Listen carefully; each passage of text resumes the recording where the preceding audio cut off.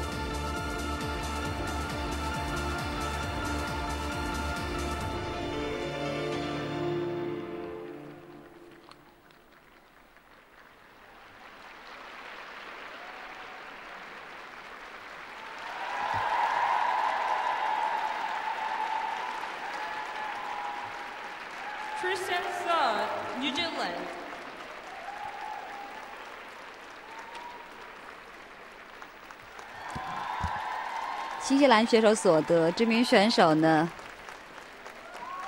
刚才这套自由滑确实也是发挥的不好。对于一些能力不是很强的运动员来说，两套节目都发挥好很难。通常他们能够保证一套节目能够就是尽力而为，拿到一个相对靠前的名次，就已经很不容易了。因为呢，我们知道像这个长节目，它确实技术动作比较多，而且时间也比较长。所以选手要全部把它好的按原来的训练水平去完成，不太容易。萨霍夫三周开场的第一个单跳摔倒，旋转不是他的强项。这套动作当中的四个旋转，可能只有两个完成的还算是可以，但是其他的两个定级可能都只有一二级了。萨霍夫三周，原计划呢？他萨沃夫是要后面接一个跳的，但是他没有接上。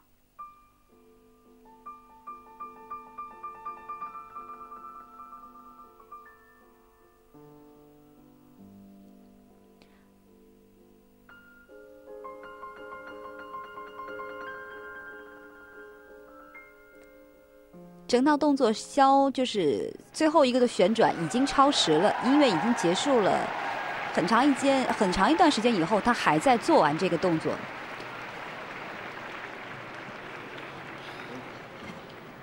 整套动作摔了两个，所以最后技术分有点够呛。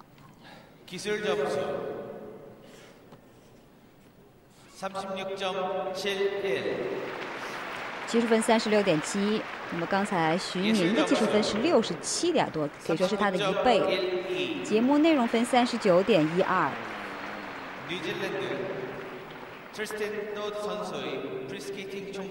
这家扣掉两分，自由滑成绩七十八点八三。两项总分一百一十五点九九，现在排在了第三位。